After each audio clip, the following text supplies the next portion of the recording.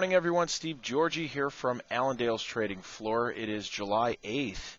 Uh, grain markets are starting off a little bit higher here this morning. Corn up about four and three quarter cents at 4.96 in December. Uh, beans up 10 cents right now. November's trading at 12.38 and a quarter, and then wheat climbing about two cents uh, as of right now. Some of the uh, some of the reasons, some of the concerns that we're seeing, maybe just a little short covering here. We've seen these markets under pressure uh, over the last couple of weeks, but also uh, the tight cash situation that we currently have, keeping these nearby contracts firm uh, and setting some records right now as far as basis. So basis is still strong. Things are uh, things are continuing to strengthen up there. Probably going to keep some good support here under these uh, these nearby uh, these nearby contracts, but looking out a little further, temperatures are looking at warming up, so we should see uh, temperatures continuing to, to warm up right now.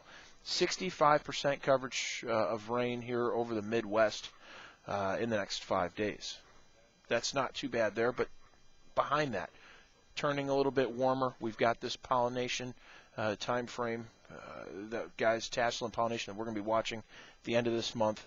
Uh, we know we're a little bit delayed here this year, but uh, it's going to be very important. Also, there's talks out there that COFCO from China is uh, is looking at making some offers here on some new crop corn.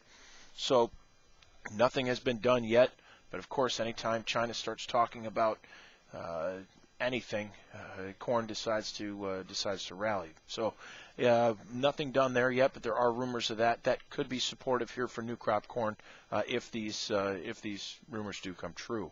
Uh, so continue looking at at that. Conditions this this afternoon. Uh, we're at 67% here as of last week. Uh, we are expecting to see conditions improve once again. So the crop out there is is looking pretty good, and as I mentioned, 65% of the Midwest going to get a drink here over the next five days. Uh, behind that, though, turning a little warmer uh, and a little drier for that six to 10 day forecast. So the market will be watching that here uh, at that 11:30 time frame. Um, some of the outside markets this morning, you got the dollar down about 13 cents.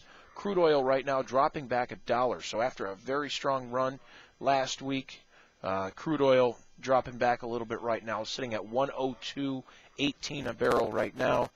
Uh, the metals pretty strong.